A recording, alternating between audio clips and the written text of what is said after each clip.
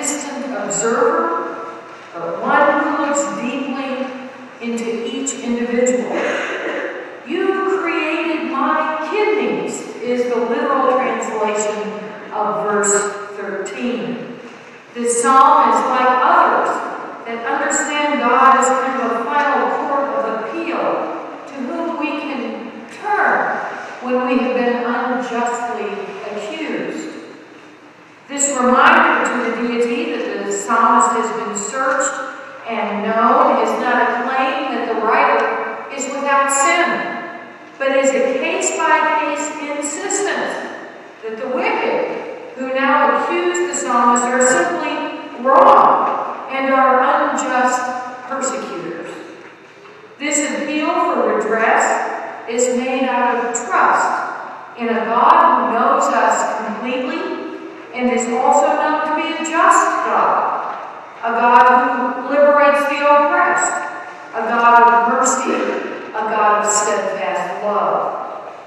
All of this hinges on the final and not so nice verses that are not included in your bulletin this morning. But knowing Kat, I don't think she would mind my bringing up uncomfortable scriptural topics. The psalmist pleads for redress. Oh, that you would kill the wicked and that the bloodthirsty would depart from me. Those who speak of you maliciously and lift up themselves against you for evil, do I not hate those who hate you? And do I not loathe those who rise up against you? The writer is hemmed in by real enemies, real injustice, real terrorists, the psalmist is appealing to God, who is trusted completely, to not let wickedness and injustice stand. Therefore, the writer is willing to be searched and known if that's what it takes for God to address these complaints. Believing in such a God while living in a violent and wounded world drives the psalmist to ask God to deal with evildoers and to express revulsion for everything that goes against God's will. As shocking as this may be, such an attitude is seen positively in the Hebrew Bible because it indicates a rejection of evil and injustice, and it reveals the writer's attachment to what is good. This is a feisty faith, and it is the faith that spoke to many of us out of the very heart of the Reverend Katharine Royal. Kat would not call on us to hate anyone or anything, but she expected God and all of us to reject evil and injustice, and that we should do something about it, do something about evil and injustice, was just not up for discussion as far as Kat is concerned. So I love that Micah chose a passage where the writer is really suffering from persecution, since Kat did so much in her life to alleviate this very kind of suffering. One among many examples was her Operation Bullywhorn, where she created an international organization that helps members learn about and deal with bullying, self-injury, abuse, eating disorders, and thoughts of suicide. Kat said in her first interview I didn't grow up in a particularly religious home. It wasn't until late junior high, and maybe even high school, that I started to become interested in anything religious, and really have my own questions.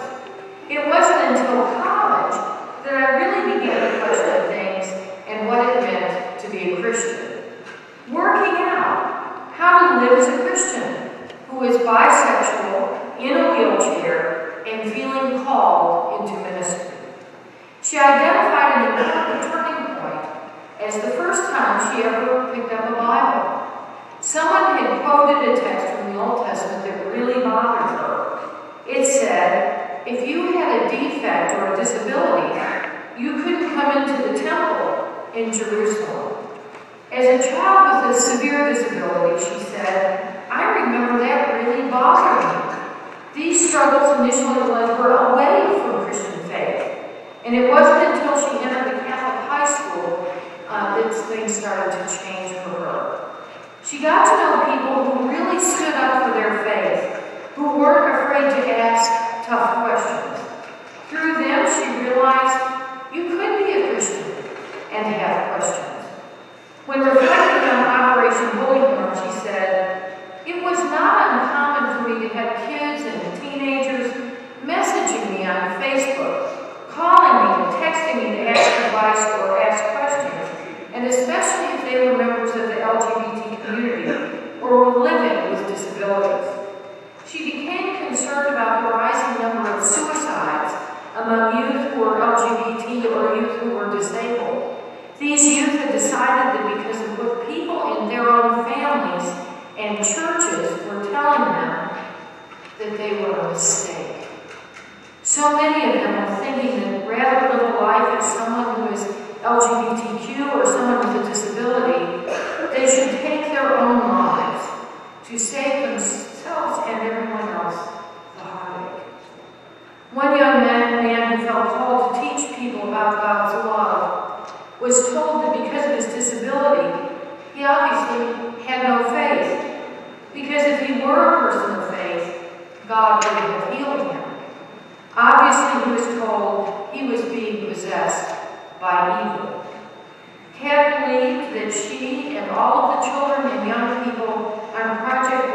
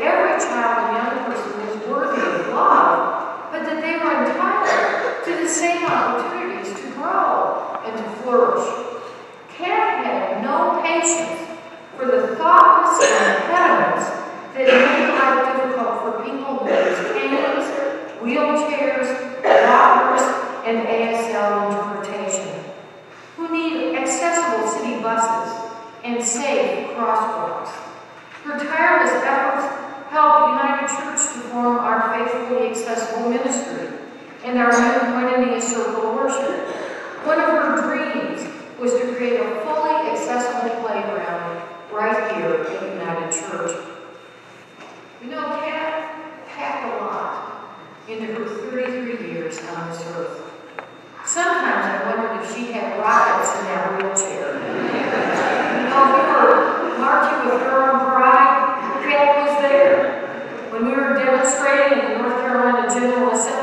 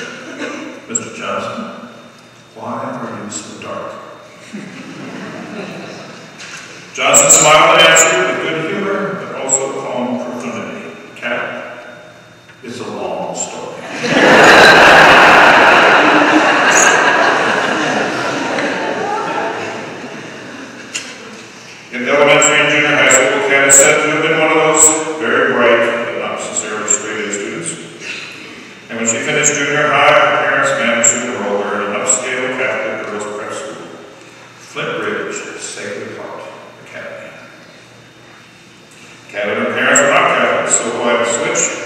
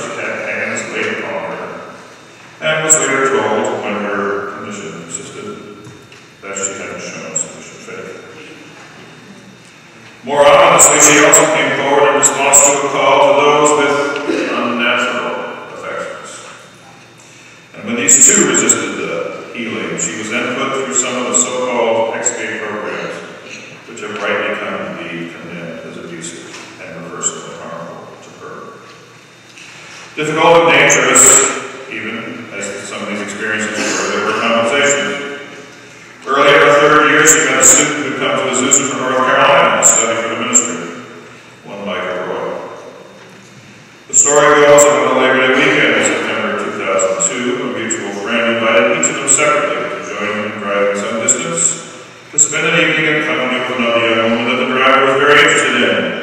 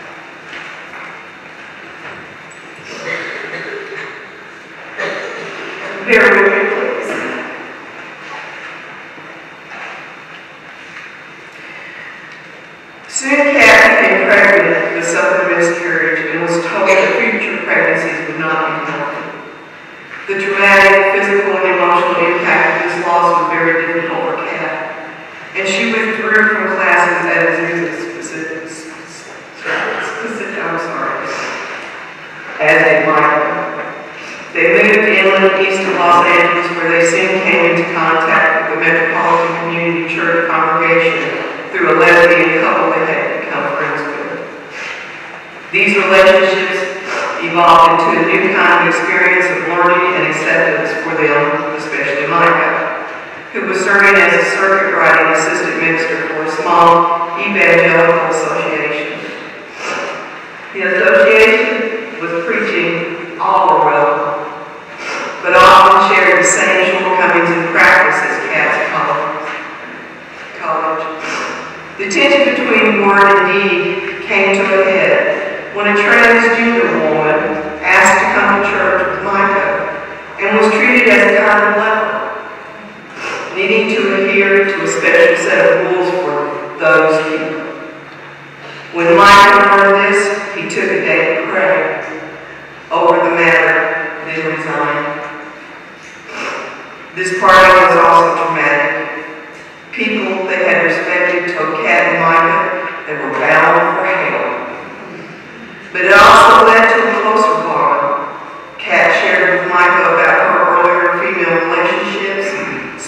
had been reluctant to do before for fear he might leave her. They returned to attending the MCC congregation, but Kat wanted to start a church plan.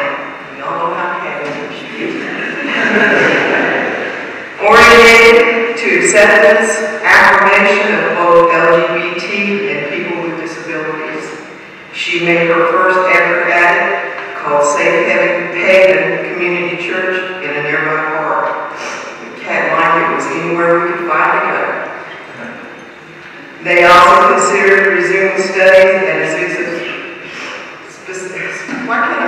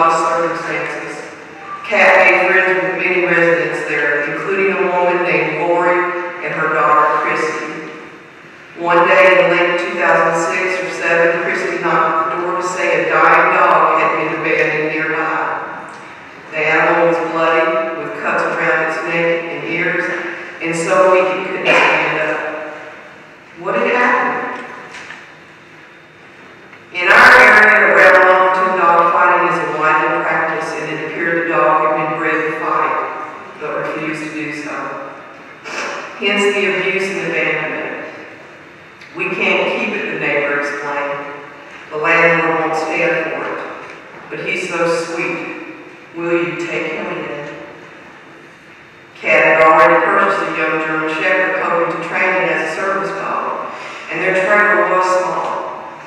But she took him